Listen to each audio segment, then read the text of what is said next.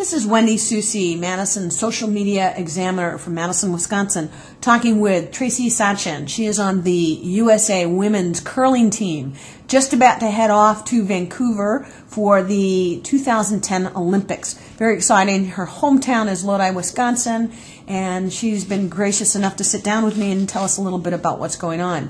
We've chatted a little bit about how they are using social media to stay connected to family, friends, and uh, loved ones back here. Um, but your son, Desmond Tracy, is doing a special project with his class, and it uses social media.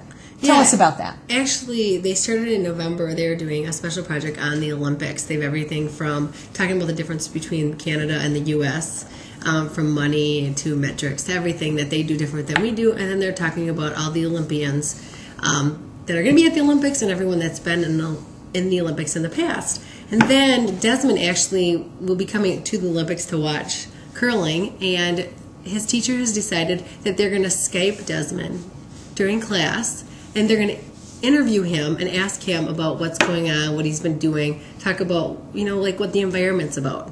So they're going to use Skype um, during their class time, which is great that they can do that because I think it'll be amazing to some of the kids who've never done this before. Right. And Desmond's how old? Desmond's nine. And that means I'm lost, but is he in fifth grade, sixth He's grade? actually in multi-age third, fourth grade. Third and fourth grade are using social media, technology, Skype to learn about international competition. I think that's great.